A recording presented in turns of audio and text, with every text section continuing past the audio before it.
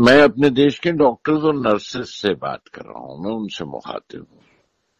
मुझे लगता है कि इस वक्त हमारे डॉक्टर्स नर्सेस वो काम कर रहे हैं जो हमारे सिपाही जंग के वक्त अपने देश के लिए करते हैं। हमने देखा है कि किस तरह गोलियों की बौछार में वो अपनी जान खतरे में डालकर भी देश की हिफाजत किया करते हैं। आप भी वही कर रहे हैं। अपनी जान की परवाह ना करते हुए भी वो महामारी की इस खतरनाक, इस मौलिक, इस इस जानलेवा बौछार में अपने देशवासियों की हिफाजत कर रहे हैं। उनकी कुर्बानी और उनका ये हौसला ये और भी बड़ा है। क्योंकि उनके पास तो वो बुलेट प्रूफ जैकेट्स भी नहीं है?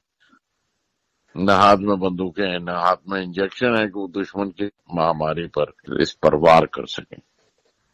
हमारे डॉक्टर्स खुद इस महामारी के शिकार होते जा रहे हैं, लेकिन अपनी जंग, अपनी युद्ध लड़े चले जा रहे हैं।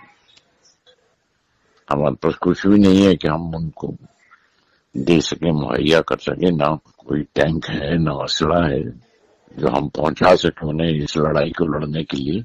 कोई दवा भी अगर है तो वो भी वही पैदा करेंगे, वही लड़ेंगे। और वही अपनी जान पर खतरा भी लेंगे, वो अपनी जान भी देंगे और देशवासियों की हिफाजत करेंगे। हम इस बहादुरी के लिए, हम उनके मशहूर हैं।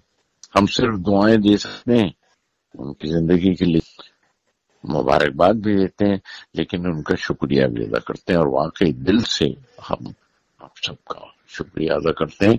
आप हमारे लिए, हमारी जाने बचाने के लिए अपनी जान को एक शील्ड की तरह, एक ढाल की तरह इस महामारी सामने रखे हुए हैं हमारे। हम अपने बच्चों को डॉक्टर बनाने के लिए बड़े मुश्ताक होते हैं। क्योंकि तो इसमें एक रुतबा है, एक अजमत है। बहुत मशहूर है आपके। बहुत बहुत शुक्रिया। हम आपके साथ हैं, जो कर पाएँगे, वो करेंगे ज़रूर। शुक्रिया।